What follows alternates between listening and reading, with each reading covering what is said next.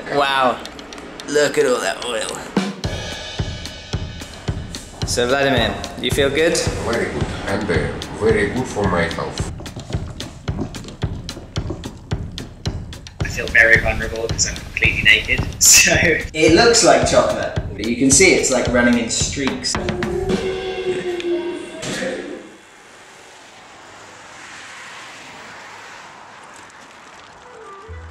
I was in the town of Naftalan, in Azerbaijan. I've been led here by that police van. They stopped and called their friend in Poland who spoke English so that they could help me. It might not look special at first glance, but the region is infamous for its alternative medical therapies, the most popular of which is a bath in crude oil. But to understand how on earth this is a thing, it helps to know a little bit about the country.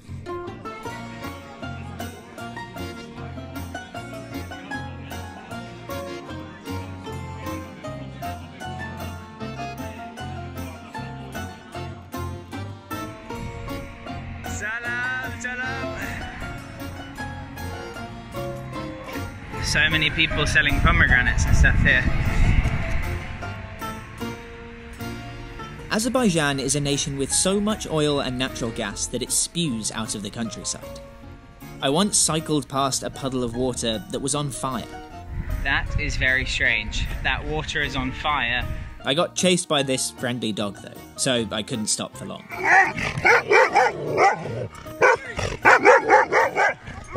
And a hillside near Baku, called Yanar Dag, has been burning since the 1950s. So I guess it's not surprising that Azerbaijan has earned the nickname the Land of Fire. I cycled for hundreds of kilometres on a dead straight road through an empty, flat desert for days. This is day four of cycling through uh, this kind of scenery. There's like no points of reference, so it's really difficult to know how fast you're going or how far away things are. I'm just slowly going more and more insane. That is the most cheerful version of Hyder Aliyev I've seen so far. And aside from the looming portraits of Hyder Aliyev, the country's former president and father of the current president, Ah, there's Hyder Aliyev again. the nodding donkeys pumping oil were sometimes the only features that stood out. This country is so rich in fossil fuels. So many people work in the oil industry. You have this place called Neft Daşları, which basically translates as oil rock, and that is a uh, town built on oil rigs out in the Caspian Sea. Uh, you can't visit there, unfortunately. I actually emailed the president of SOCAR, the state-run oil uh, company, to see if I could. Coming to Baku, I've met so many people who are studying oil engineering or engineering at the Academy of Oil and Natural Gas or something. You have the medical treatments like Naftalan oil baths. Uh, the whole country just has um, a close relationship with oil and gas, and that goes for the culture as well as the economy. So when I heard that there was an entire town full of clinics where people could bathe in crude oil, I had to see it for myself. So I've just woken up in my room here at the spa. Now I'm going to go off and have a look around, hopefully meet up with the owners and the doctors here, but I'm not sure if anyone speaks English, so I might have to improvise a little bit. My first meeting was with Elias, a dermatologist and urologist.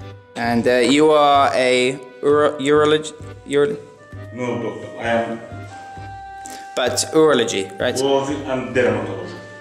My name is Yes. I am a doctor. I am work in Naftalan. He wasn't particularly talkative, Liver, REM, prostate. but I put that down to the language barrier as he took me through the raised walkways between the buildings. You don't have to go outside to get around here. It's built that way because, after an oil bath, according to Elias, you're not allowed to let your skin get cold for 24 hours. Otherwise, you risk some damage to your body. Wow, this is very cool. Hello. Yes. This is Vlad. Wow, this is. Uh, look at all that oil. He travelled all the way from Murmansk in Russia to bathe here, and was hoping that it would be good for his bones and skin. So, uh, how does it feel? It feels good? Very good. Very good, very good. Very good for uh, osteo. Ah, for the bones. The best. If people have a problem with skin, yeah. it's good too.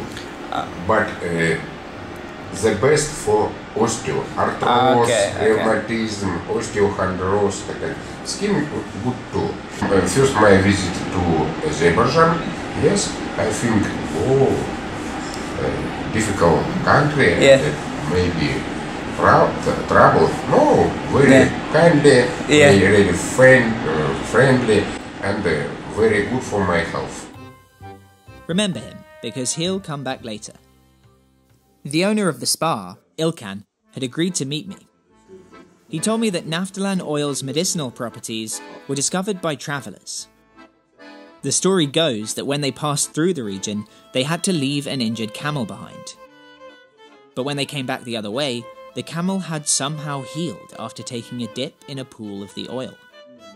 Like everyone else here, he claimed it could treat up to 72 different conditions, ranging from fertility problems to eczema. A phone rang and the meeting was over, but Ilqan had decided it was time for me to try one of the baths out for myself. Right now we are going to the oil bath. Yep, that's right. I'm going to try an oil bath. So, let's go. So we're in the facility with the baths, and I can already smell the naphthalene, the oil. It's got quite a strong smell. I had a quick checkup from a cardiologist to make sure I was healthy enough to do it, and was given the all clear. It's a necessary step because those with heart conditions aren't supposed to have the treatment. I tried not to think about the fact that this oil is reused, meaning countless people had probably already bathed in the same stuff I was about to cover myself in. if I had to describe this, it, it feels like I've gotten into a tub of warm, melted chocolate that's just over body temperature. It looks like chocolate. You're not really supposed to spend more than about 10 minutes in here because it can apparently be kind of bad for your heart. There's a little timer on the side here, which is going to let me know when I'm supposed to get out. After this, Royale, the guy who works here, is going to scrape my body, I think. Uh, he's going to scrape my body to get rid of the oil. But you can see it's like running in streaks down my my arm and stuff. There's like different patches of colour.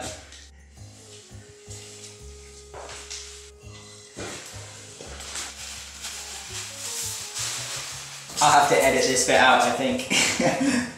Feel very vulnerable because I'm completely naked. So, uh, if you are going to do this, you have to be completely comfortable being uh, naked in front of total strangers. Um, because thanks, because they do have to uh, scrape down your naked body, um, and you get to know each other quite well, I think. After being scrubbed down by Royale, the assistant, in one of the most awkward encounters of my life, my treatment was over. I told you Vlad would be back. He'd said he had something to show me, and that I should accompany him early one morning to a neighbouring clinic. It was there that I witnessed another, somehow even more strange medical therapy. A strap was attached to his shoulders and another to his waist. Looks comfortable. before a nurse told him to lie down on a platform in the middle of a warm bath. Of water this time, not oil. He told me he was hoping to treat his back problems. From what I understood, the vertebrae in his spine were compressed. This procedure, right. ah, okay, so it pulls the vertebra apart. So the shoulder strap was held in place at one end, but at the other, I watched dumbstruck as weights were added to a cable attached to his waist harness, and the treatment began.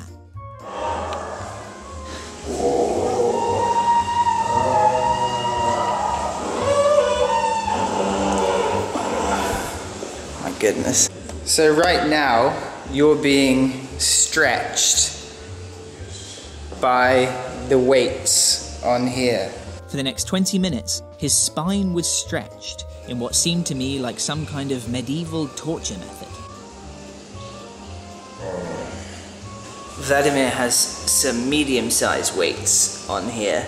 You also have some small ones here, but for really intensive treatment, you have these enormous ones. And I cannot imagine that that would be a pleasant feeling. Vladimir, have you done this before? One, two, three. Third time. And more and more. With each treatment, more weight is used to stretch his back.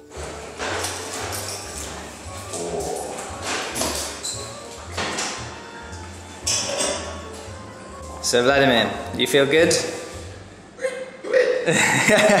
like a. there we go.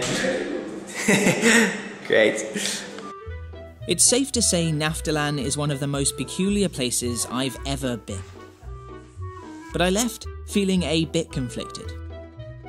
During my stay, I met experts who explained the difference between certain dilutions of the oil and how they can be used. This one on the right supposedly balances hormone levels. But it all sounded a bit far fetched. Elias had mentioned that the treatments are so successful here that there's an entire museum of crutches that patients no longer needed after their visits. One of many very bold claims I'd hear during my stay. And that seemed like a bit of a red flag. So, on the one hand, it was one hell of an experience that I will never forget. But on the other, there was the sense that some might be taking advantage of people's lack of scientific knowledge, with patients visiting from far and wide to treat conditions for which there is, in some cases, no known cure. And there's actually a chance that the therapies could be harmful. I didn't find much about the stretching rack that Vlad used, but there is some research that suggests the oil baths are carcinogenic, meaning they increase your risk of developing cancer. But all the patients I met seemed to be in good spirits, and to them, these treatments made a difference. Good morning. Good morning. Hello. Spasiba, thank you for all the help. I've been following Vladimir as he's had his strange, strange, uncomfortable looking uh, treatments. And how do you feel, Vladimir? Yes, thank you, Terry, for our meeting. And- I am happy. How is your your back? Yes. Your back is good? Yes, Is good? yes, very good, Good. very good, yes. Good to hear. When we finally said goodbye, Vladimir certainly had a spring in his step.